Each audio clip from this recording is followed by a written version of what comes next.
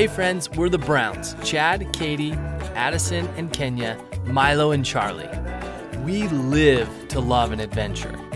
This is our story of leaving the norm behind to travel the United States full time, spreading love and encouraging others to do the same.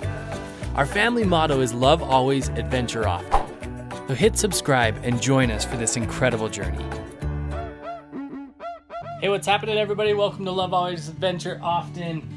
As you can see, we got our countertop single basin sink here that we picked up off of the discount table at the plumber supply store. And because it was a floor model it doesn't have a template for undermounting the sink. It's actually not even an undermount sink. We're just gonna undermount it because we're like that. What I'm doing is I have to make a template of the sink. So basically what I did is I took a large piece of paper laid it over the sink and taped it down so it didn't move and then took a crayon with the paper off and just kind of rubbed the crayon along the edge of the sink. Never done this before, just trying it out for the first time. Hopefully it works good. I'll show you the process.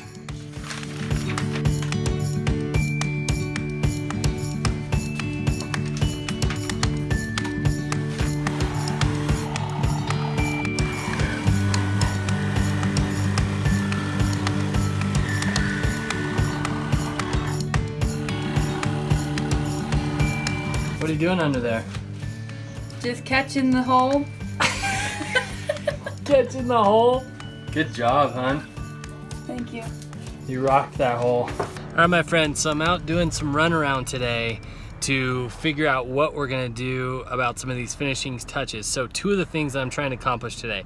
First one is hot water heater venting. Apparently, every brand of tankless water heater has its own ducting system that it requires. And my our our water heater that we bought requires stainless steel double walled venting system. And it's gonna cost like $180 just for the venting system for the water heater.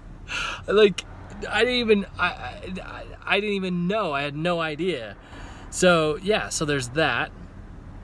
And then um, paint. So I budgeted like 250 bucks for exterior paint. I went to an auto body spot place. They quoted me about a thousand dollars for the paint, and I just got done at this auto body shop to ask them what they would, what they would charge to paint it, and they quoted me forty five hundred dollars. So I know there's lots of resources online. I just got to jump on and see what other people are using and what they're doing. Unfortunately, I think that's going to pigeonhole us into a color that we're not wild about. Um, but yeah, kind of a frustrating day of runaround, to be honest. I just want to get these things wrapped up so that we can be done. And it just seems like every corner there's a little bit of a hiccup. So, anyway, gonna keep working and uh, keep sourcing these things. I'm gonna order my $180 venting system. I know those things have to be vented correctly. I know that. Um, and that's really, really important. So anyway, we'll keep going.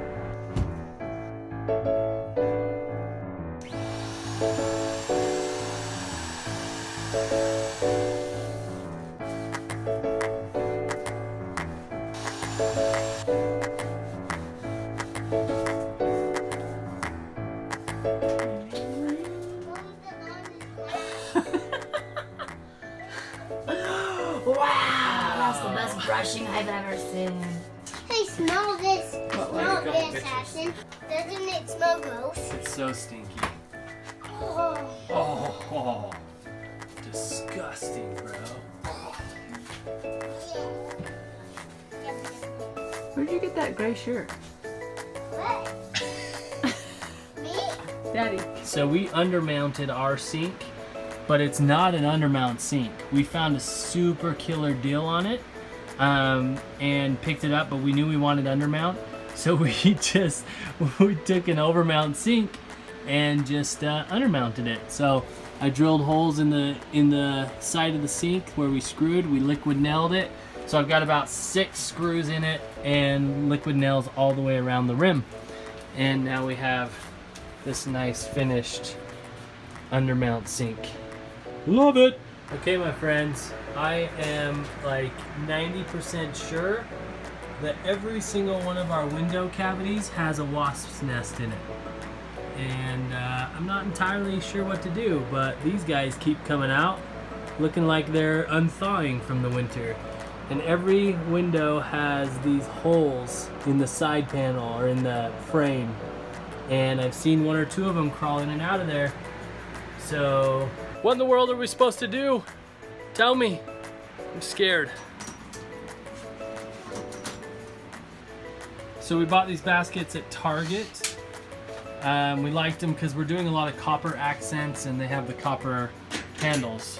So they'll go well with all of the other kind of copper accents that we're doing. And uh, they're pretty sturdy, pretty good baskets. And what I did is I took copper piping. I just simply drilled self-tapping tapping screw through each end, put a cap on each end, ran it through the basket, and then screwed it into the, the running one by ones that we have running up and down the whole side of the bus. So what we're thinking is like, these will be fruit baskets, they'll be, uh, you know, soap, detergent baskets, all of that kind of stuff because it's right above the sink. Yeah. This is also sweet. I'm very, very excited about. We, we saved our sink cutout so that it fulfill the space for the undermount sink. So another thing um, about our bus is we wanted to make sure, uh, as we looked at a bunch of other buses, one thing that we really loved is how when people left kind of the headspace open in their bus, meaning not a lot of like upper cabinets and things kind of encroaching in on the space. We just loved the open space up in the front. So we wanted to kind of preserve the open space up front as much as we possibly could um, which we've done successfully. But storage and shelves and all that kind of stuff is obviously an issue um, because you want some of that stuff to put things on. So let us know your thoughts. Let us. I'm still like. I'm still like 80-20 on them, like 80% liking them, 20% like I don't know if I like them. I think Katie's even less liking them. What do you think? I don't know. I think they're good. but I'm I'm Larry. She's Larry. So this is getting really exciting. Sorry if all this is very boring to you for details, but details are like my thing. I love details, so like all this general construction stuff has been killing me. And now I get to really like thrive in the details. I just want to show you like this is the, the built-in spice rack that I've been working on. I mean, since we started framing, obviously, because I had to frame it into the wall. Uh, with the penny tile background and the copper piping uh, shelves to keep the stuff in. This is awesome. I'm so excited about this. I love how those colors are coming together with the wood countertop, the copper railings, and tile and, and the white. It's awesome. And here's our baskets to kind of match. Woo! Details, love them. Boom, baby. There's a screw there. No. Crap. We can do this right now. We just take um kitchen sink off, off our kitchen sink, out of our, the house, and We already have our kitchen sink in here. yeah. Got it. Up and away. Got it. Yoo-hoo! Oh, that's where my coffee mug's gonna live. We'll see about that. Dad, Oh, did you get me picking my nose? Always.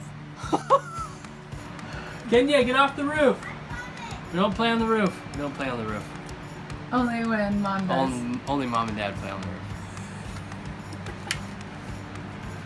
Right? All right, my friends, quick backstory here.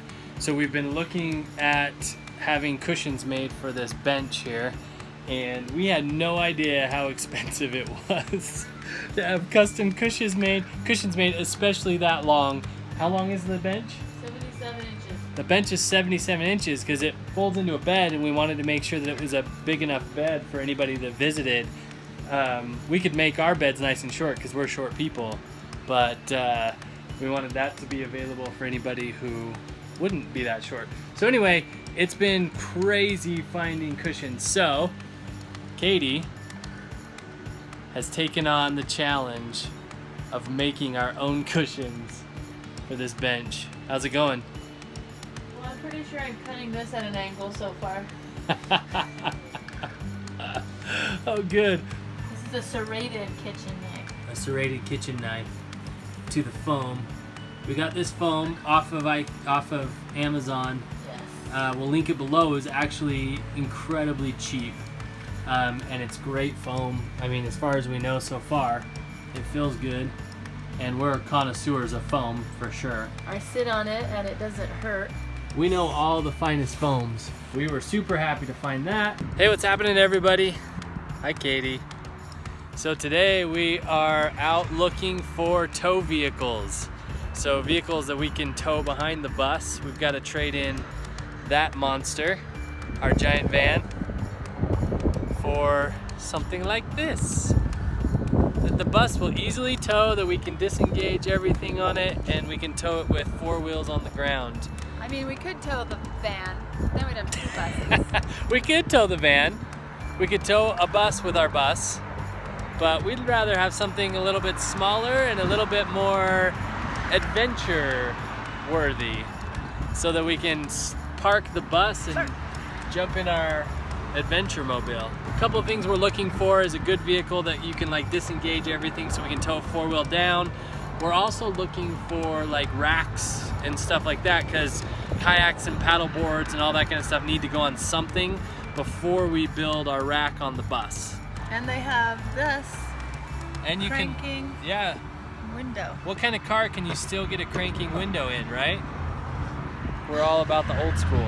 Win-win. No, say the, the whole thing. Well, it's win-win. Well, we got what we wanted. It's win-win.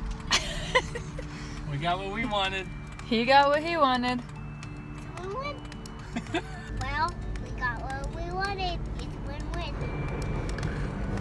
It's a win-win. Well, we did it. Woo! Katie's been talking about a get about getting a Jeep. We used to have a Jeep Wrangler, and ever since we got rid of that, Five years ago. ever since we got rid of it, she's been talking about it. Here we are again. Got a Jeep. Why is it a win-win, Mai? Because he got what he wanted and we got what we wanted. So we traded in the big transit van that we had that was our adventure vehicle, which is kind of sad. A little sad. I'm We- glad we took it to starvation yesterday. As you can hear, this is a soft top Jeep, so makes a little bit of noise, um, but it'll be good for towing. The other cool thing is, the first place we stopped at to look at Jeeps, we, it was just a good deal. We felt good about it, so we went for it. And second, he had a thousand dollar towing package for it that he just gave to us on top, and he also threw in a rack over the top, over the roof. But I think it was a great deal all in all.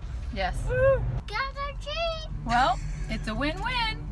Whoop, whoop, whoop. A Jeep. Hey everybody, we wanted to end this video with a quick update about how everything is going.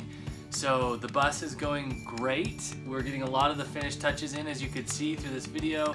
Kitchen is coming together. There's just a few things left that we need to do. We still need to put in our two gray water tanks. We're gonna have two, one for the bathtub and one for the kitchen sink. Then finally, finally is painting the outside of the bus, which we don't make that face. which we still need to figure out what we're actually doing. We're not thrilled by a lot of the options, a lot of the paint options there are out there. Um, I know a lot of people have gone with like a Rust-Oleum primer top coats thing, but you're limited to four colors, which are black, white, gray, and red, or, or yellow. Caution yellow. We could keep it yellow. And uh, we want like a teal, aqua, mint, something like that. So we really are trying to explore as many paint options as we can find, but we need to have this thing painted with there's a big old bug flying around. so we really need to have this thing painted within a week. I mean, if we're gonna meet our goal. So we have a goal of June 10th to pull away. And uh, one other exciting thing that happened today We bought a Jeep! we bought a Jeep. We uh, we've had we've had the in the back of our minds we needed to change out our vehicle situation so that we had a good vehicle for towing. and Katie's always wanted a Jeep Wrangler. We used to have one, and uh, ever since we sold that, she's been mad at me. So now I'm a good husband again because we got a Jeep Wrangler. I find on Jeeps.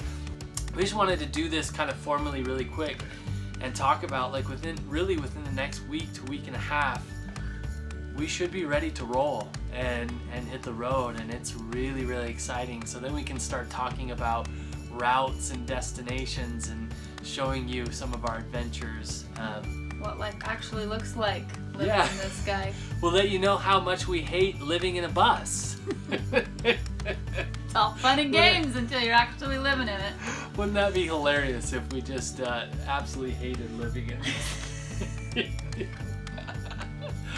So anyway, we're so grateful for everybody watching. Our channel is growing rapidly. I mean, to us at least. Um, I mean, we're getting like 10 to 15 new subscribers a day, which is pretty phenomenal. It's awesome. People are kind of watching and, and messaging us and telling us that they like what we're producing, and that's what we really want to do.